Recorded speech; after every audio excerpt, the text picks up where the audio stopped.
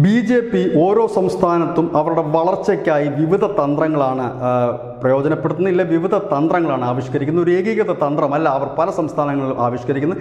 കേരളത്തിന് വേണ്ടി അനവധി തന്ത്രങ്ങൾ അവർ ആലോചിച്ചു വരുന്നുവെങ്കിലും പ്രാവർത്തികമാക്കാൻ ശ്രമിച്ചതെങ്കിലും പൊളിഞ്ഞടുങ്ങി പണ്ടാരമടങ്ങുന്ന കാഴ്ച കാണാൻ കഴിഞ്ഞതെങ്കിൽ അങ്ങ് അപ്പുറത്തെ നമ്മുടെ അതിർത്തിയിൽ തമിഴ്നാട് ബി ജെ പി ഒരുക്കിയ ഓരോ തന്ത്രങ്ങളും കൃത്യമായി തന്നെ അണ്ണാമലയും അണ്ണാമലയുടെ നേതൃത്വത്തിലുള്ള ചെറുതും വലുതുമായ നേതാക്കൾ ഇറങ്ങി അത് ഭംഗിയായി നടപ്പാക്കുന്നു എന്നുള്ളത് തന്നെയാണ് ഇപ്പോൾ പുറത്തു വരുന്ന വാർത്ത.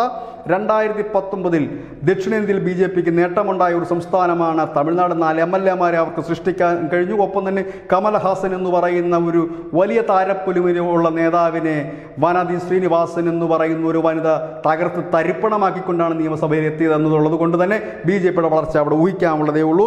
ഇപ്പോൾ അവിടെ ബി ജെ പിയുടെ തന്ത്രം എല്ലാ ജാതീയ വിഭാഗങ്ങളെയും കൂട്ടുപിടിച്ചുകൊണ്ട് ഉള്ളൊരു ഒരു നീക്കമാണ്. കാരണം തമിഴ്നാട്ടിൽ ഹിന്ദു എന്നൊരു വലിയ വികാരം ഉണർന്നു വരുന്നു. ആ പശ്ചാത്തലത്തിലാണ് വിവിധ ജാതീയ വിഭാഗങ്ങളെ ഒന്നിപ്പിക്കാനുള്ള ഒരു വലിയ നീക്കം നടന്നത് വിജയത്തിലേക്ക് എത്തി എന്നാണ് ദേശീയ മാധ്യമങ്ങൾ റിപ്പോർട്ട് ചെയ്യുന്നത്. ഇതിനായി ചുക്കാൻ പിടിക്കുന്ന കേന്ദ്രമന്ത്രിമാരുടെ ഒരു നീണ്ട നിര തന്നെയാണ്. നിർമ്മല സീതാരാമൻ ഭൂപേന്ദ്ര സിംഗ് പീയൂഷ് ഗോയൽ സ്മൃതി ഇറാനി തുടങ്ങിയവരാണ് ഇതിന് നേതൃത്വം നൽകുന്നത്. ഒപ്പം തന്നെ കേന്ദ്രത്തിന്റെ പദ്ധതികൾ എല്ലാ വീടുകളിലും വീട് വീടാന്തരം കയറി ഇറങ്ങിയത് കേന്ദ്ര പദ്ധതിയാണ് എന്ന് പറഞ്ഞ് ജനങ്ങളെ ബോധ്യപ്പെടുത്തുവാൻ തമിഴ്നാട്ടിലെ ബി ജെ പി ഘടകത്തിന് കഴിഞ്ഞു എന്ന് തന്നെയാണ് ഇപ്പോൾ പുറത്തു വരുന്ന വാർത്തകൾ. മാസങ്ങളായിട്ട് തന്നെ ഇത്തരത്തിലുള്ള ഗൃഹസമ്പർക്ക പരിപാടികൾ തമിഴ്നാട്ടിലെമ്പാടും നടന്നു വരികയായിരുന്നു. അവിടെ ബി ജെ പി പറയുന്നത് കഴിഞ്ഞ പതിനാറ് മാസമായി ഭരിക്കുന്ന ഡി എം കെ സർക്കാരിന് ഒരൊറ്റ വികസന പ്രവർത്തനങ്ങൾ പോലും കൊണ്ടുവരാൻ കഴിഞ്ഞില്ല. പകരം കേന്ദ്രത്തിന്റെ പദ്ധതികൾ പേരുമാറ്റിയും അല്ലാതെ നടപ്പാക്കുക മാത്രമാണ് ഈ ഡി എം കെ സർക്കാരും സ്റ്റാലിനും ചെയ്യുന്നതെന്ന് ബി ജെ പിക്കാർ പറയുമ്പോൾ അതിനെ തെളിവ് സഹിതം ഓരോ വീടുകളിലും കൊണ്ടുചെന്ന് അവർക്ക് അത് മനസ്സിലാക്കി കൊടുക്കുന്നിടത്താണ് ബി ജെ പിയുടെ വിജയം. പടിഞ്ഞാറൻ തമിഴ്നാടിലും ഒപ്പം തെക്കൻ ജില്ലകളിലുമാണ് ഏറ്റവും കൂടുതൽ ബി ജെ പി ശ്രദ്ധ പതിപ്പിച്ചിരിക്കുന്നത്.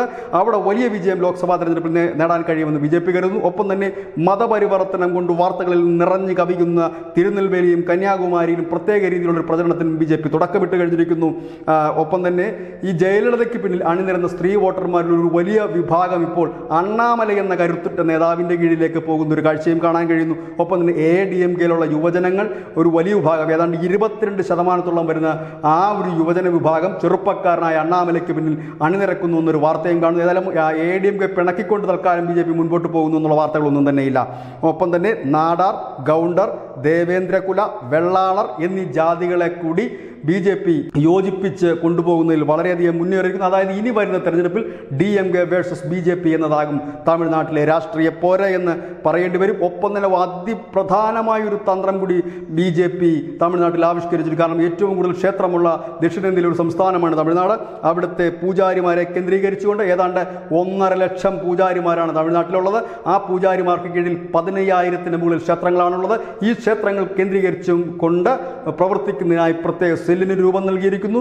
ഇവരെ മുൻനിർത്തിക്കൊണ്ടുള്ള പ്രചരണവും തുടങ്ങിയിരിക്കുന്നു. അതുകൊണ്ട് തന്നെ പറയാം വരുന്ന ലോക്സഭാ തെരഞ്ഞെടുപ്പ് അക്ഷരാർത്ഥത്തിൽ D M K versus B J P എന്ന നിലയിലേക്ക് മാറുന്നു.